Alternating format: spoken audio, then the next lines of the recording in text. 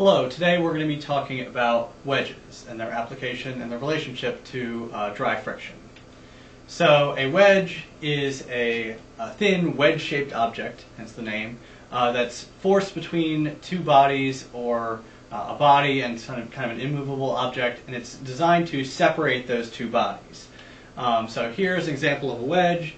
Uh, we've got a wedge that's driven into a log, uh, and we're going to split the log by pushing this piece, wedge-shaped piece of metal in between the two.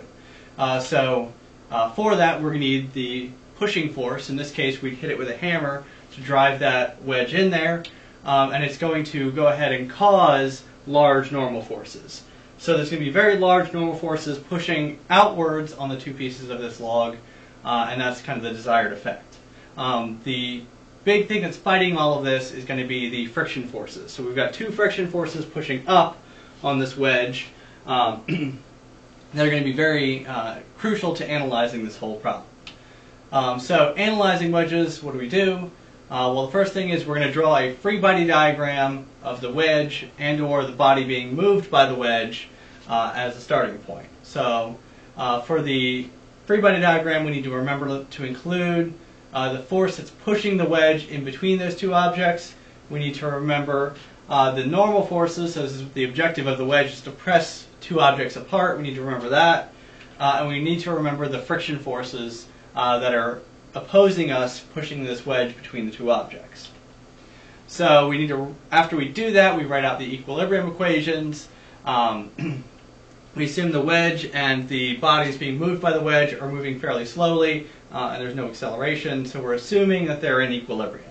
That lets us write the sum of forces in the x equals 0, sum of forces in the y equals 0, uh, and if we need to, sum of moments. Um, another important equation for all of this, we need to remember uh, the coefficients of friction uh, as they relate the normal forces to the corresponding friction forces. So if we've got one friction force, if we're just starting to put the wedge in there, um, it's going to be the static coefficient of friction that's relating those two, and if we've got the these wedge is actually sliding in, uh, then it's going to be the kinetic coefficient of friction that's actually uh, relating the normal force and the corresponding friction force at each contact point. Um, so here's an example of how we might use a wedge. Uh, say we've got a safe pressed up against the wall. Uh, we, have got a wedge, uh, and we're going to press this wedge in there, and it's going to separate our body. It's going to move the safe out just enough that we can get our fingers behind it to move it. Um, so to analyze this whole system, uh, first thing we would do is, again, we're going to draw those free body diagrams. So here's our wedge. Uh, we've got the pushing force pushing down on the top of this. Uh, and at the two points of contact, I've drawn them here. Uh, we've got the normal force from the wall and the normal force from the safe itself. Uh, so if my wedge is at a slight angle, this normal force is going to be perpendicular to that surface. Uh, at each of those points of contact, we've also got those friction forces. Uh, so we can do the same thing for our safe.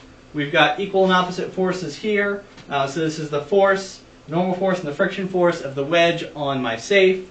Uh, I've got the weight of the safe, that's pretty significant. Uh, and I've got a normal force and a friction force down at the base of this safe. Uh, so each one of these uh, is going to give me a body to analyze, and I can write out the free body or write out the equilibrium equations uh, using these diagrams. So to simplify this, though, first we're going to look at the friction forces uh, and relating the normal force. So I've got a normal force and a friction force. they kind of come in pairs. Uh, if I know the coefficients of friction, um, so maybe I know the mass, the angle of the wedge, coefficient of friction between these surfaces, if I know that, I can replace some of these variables. Uh, and so what that's going to look like, uh, before I said um, the coefficient of friction here between the wall and the wedge is 0.1. So 0.1 times Fn is that friction force between the safe and the wall, or sorry, the safe and the wedge, it's 0.05.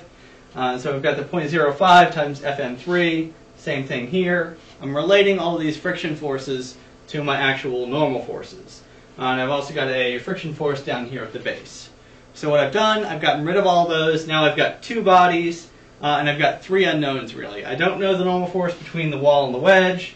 I don't know the friction, or the normal force and the friction force between the wedge and the safe, and I don't know the normal force down here at the base of the safe itself.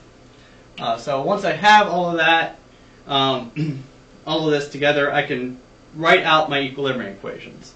So that's going to give me, in this case, sum of forces in the x and sum of forces in the y is going to be sufficient to solve this particular problem. So with that, that's all you really need to know to analyze wedges. Uh, thank you for watching, and I hope to see you again.